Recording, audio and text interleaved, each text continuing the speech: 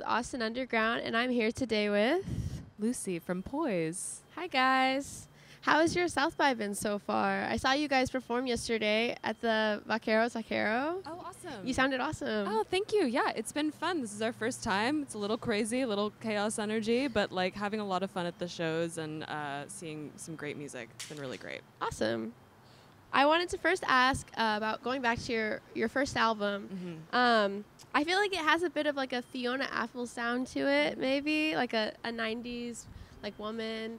Does it does that have any like influence on your work? I love Fiona Apple, especially her lyrics. I think she's an incredible lyricist. She writes songs about most things that people would never consider writing a song about. Um, she's a huge influence. Yeah, she's Yeah. a huge feminist, and like I think she's really good at conveying rage in her songs, which is Yeah. something like you know something you have to grapple with as a woman sometimes. How unfairly you're treated, um, and that's something I grapple a lot with in my music. So it makes sense to make that comparison. Thank you. Yeah, of course. I feel like your songs definitely do have like a lyrical similarity as well, Mhm. where there's like a lot of themes of like rage and anger, but also like sorrow or uh, like love lost and things like that. And I was wondering how that like impacts you personally, like um, writing and singing about those lyrics. Is it like a cathartic experience? Yeah, I think especially when I'm writing them, I think when I'm performing, I feel kind of removed from the lyrical content because I'm thinking so much about the technicalities of what's going on. Um, but writing it for sure, I think I learn a lot about myself and what I really feel when I write my lyrics because I have to go pretty deep to find the honest truth of what I feel. Um, so I uncover a lot about myself when I'm writing. That makes sense. Yeah. By the end of like the album cycle, do you feel like still as connected to those songs at the beginning, you think, or do you think after a while of performing them and feeling removed, they become more like the piece of art rather than like a part of you?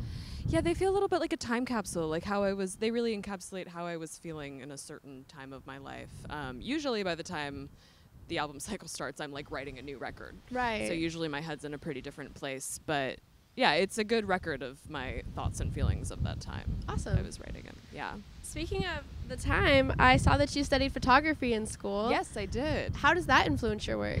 I think it's really helpful in terms of uh, informing the aesthetic of the band, and like I've directed a lot of our music videos, and I have a very specific vision for our visuals a lot of the time. Um, I think I also like make music like an art student. I'm very intentional. I really think about every little detail, um, and I think part of that is my training in art photography. Yeah, that makes sense.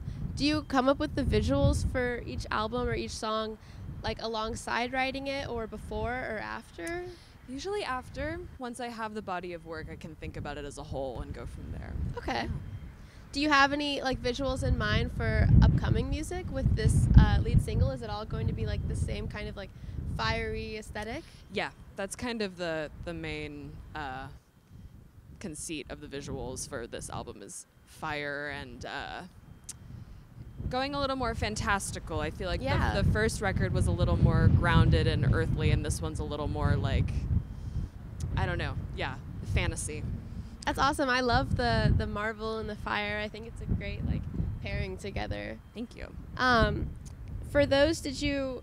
How do you feel like the visual, um, like helps explain your your music further? Like I feel like visuals can kind of complete, um, like an understanding of a song or a body of Mhm. work. How does the fire translate with your music?